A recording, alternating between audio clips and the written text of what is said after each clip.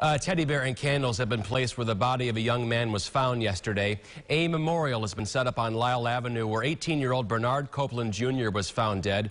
Police found Copeland's body with a gunshot wound around 9.30 Friday morning. He was pronounced dead at the scene. No arrests have been made at this time.